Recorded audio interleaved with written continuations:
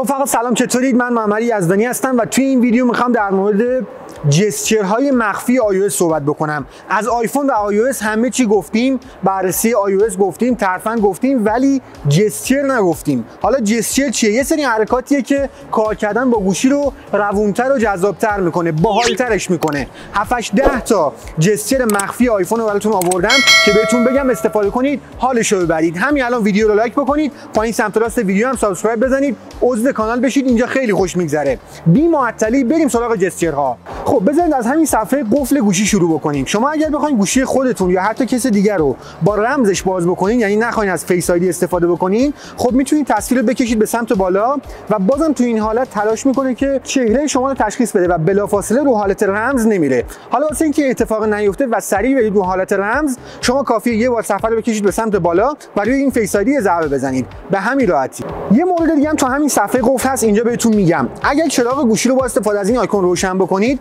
خب می‌تونید دوباره از همین طریق خاموشش بکنید. اما اگر حالتی داشته باشید که مثلا دستتون به این آیکون نرسه و سختتون باشه می‌تونید به جای این آیکونه صفحه گوشی رو یه کمی به سمت چپ بکشید و این چراغ خاموش میشه. ببینید؟ الان روشنه و من به جای که این آیکون رو بزنم صفحه رو یه مقدار به سمت چپ می‌کشم و خاموش میشه. تو مرحله بعد وارد صفحه هوم گوشیمون میشیم. چند تا ترفند می‌خوام اینجا بهتون بگم. شما اگر لازم باشه که یه اپلیکیشن رو جابجا بکنین خب یه راهش اینه که دستتون روش نگه دارین و اپلیکیشن ها تو این حالت که قرار گرفت این اپلیکیشن رو لبه های تصویر نگه دارید تا در واقع صفحه عوض بشه و بتونید اپلیکیشن رو جابجا بکنید به این صفحات. اما یه راه دیگه هم داره خیلی راحت تره. شما کافیه این اپلیکیشن رو بردارید از اینجا و با یه دست دیگه تون صفحه رو ورق بزنید و وارد صفحات دیگه بشین. الان ببینید به همین راحتی من اینو جابجاش کردم. تازه یه ترفند باحال دیگه هم هست بهتون بگم. اگر بخواید چند تا اپلیکیشن رو با هم جابجا بکنید کافیه یکیشو انتخاب بکنید و حالا با یه دست دیگه تون چند تا اپلیکیشن دیگه هم بهش اضافه بکنید تا یه گروه رو در واقع تشکیل بده. حالا می‌تونید به همون روش که بهتون گفتم صفحه رو ورق بزنید و به صورت گروهی این اپلیکیشن ها رو جابجا بکنید. خب حالا ورق می‌زنیم میریم سراغ App Library یه ترفند باحالم اینجا بهتون بگم.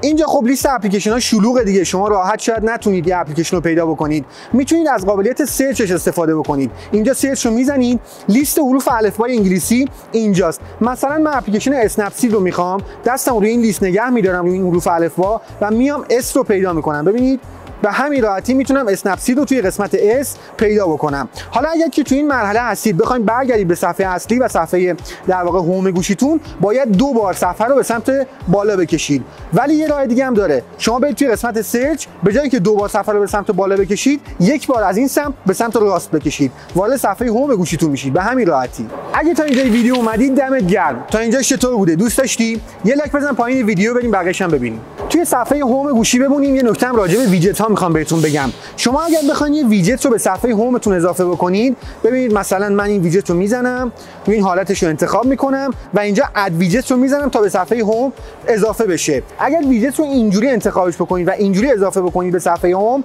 شما در مورد محل قرارگیری این ویجت حق انتخابی ندارید و بنابراین اینطوری ممکنه چینش اپلیکیشن هاتون به هم بریزه. یه راهکار باحال می‌خوام بهتون بگم. اینو حذفش کنید.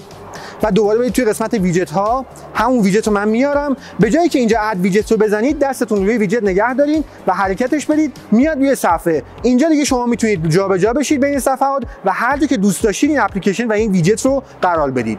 این ویجت ها خیلی چیزای باحالی از iOS 14 اضافه شدن به آیفون ها رفته رفته تکاملشون رو طی کردن و الان خیلی کاربردی خیلی جلوه بصری باحالی هم دارن. اگه دوست دارید راجع به این ویجت ها یه ویدیو مجزا بسازم ترفنداشو بگم. چند تا ویجت باحال بهتون معرفی بکنم و خلاصه کامل در صحبت بکنم. توی کامنت ها برام بنویسید که ویدیو اونم براتون بسازم.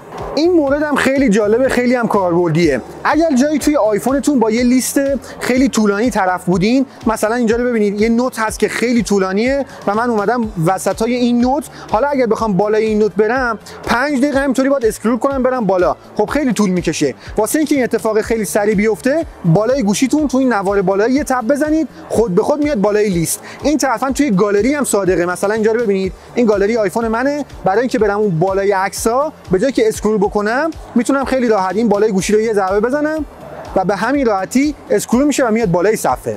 خب می‌خوایم بریم سراغ سافاری. چند تا ترفند و جسچر حالم اونجا بهتون بگم. میریم توی سافاری. ببینید وقتی شما بخواید بین تب ها جابجا بشین یه راهش اینه که این دکمه رو بزنین و این قسمت تب ها رو بیارید و واردش بشید حالا یه راه دیگه هم هست. شما این نوار پایینی نوار آدسبار رو در واقع می‌تونید به سمت چپ و راست بکشید و بین تب ها خیلی راحت تر جابجا بشید. یه ترفند باحالم که اینجا هست شما می‌تونید این تفه آخر یعنی تب آخر رو به سمت چپ بکشید و یه تب جدید باز بکنید. همونطور که می‌بینید اینجا یه به اضافه ظاهر میشه. من می‌کشم به سمت چپ و یه تب جدید باز میشه. حالا وارد تب ها میشیم. به جایی که این دکمه رو بزنم من می‌تونم این صفحه آدرس بار رو به سمت بالا بکشم تا همه تب ها رو به صورت یکجا ببینم. اینجا یه نکته بهتون بگم. اگر خواستید تبی رو دیلیت بکنید هم از ضرب های بالای تب ها می‌تونید استفاده بکنید. همین که خیلی راحت تو یه حرکت تب ها رو به سمت چپ بکشید و تمام. یه جستر با حالم می‌خوام بهتون بگم به عنوان ترفند آخر که البته قبلا یه جایی گفتمش مون حالا اینجا داریم در مورد جسترها صحبت می‌کنیم. بعد نیستی اشاره بهش بکنم. اگر توی لیستی شبیه این لیست مثل در واقع لیست پیام ها خواستید چند تا پیام رو با هم انتخاب بکنید و دیلیتش بکنید به جای اینکه تک تک انتخاب بکنید از دو انگشت استفاده بکنید و به این راحتی تیکشو بزنید و انتخاب بکنید. توی نوت ها مخاطبین و خلاصه تمام لیست های گوشی آیفون کاربرد داره. خیلی خوب اینم از جسترهای خفن و مخفی iOS. امیدوارم که دوست داشته باشید استفاده بکنید و حالش رو ببرید. ویدیو رو حتما واسه رفیقای آیفونیتون بفرستید و به اشتراک بذارید که همه ببینن. و پایین سمت راست ویدیو subscribe بزنید آیکون قرمز رنگ عضو کانال ما بشید. خیلی خوش میگذره اینجا. لایک بزنید. علامت 60 پایین ویدیو. dislike نه اون شست پایینی نه. شستی که رو به بالاست. اونو بزنید و لایک کنید ویدیو رو. کامنت بزنید و خلاصه به من انرژی بدید.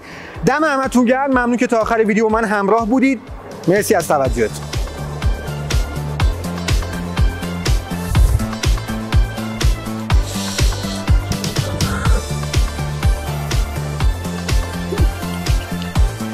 OK.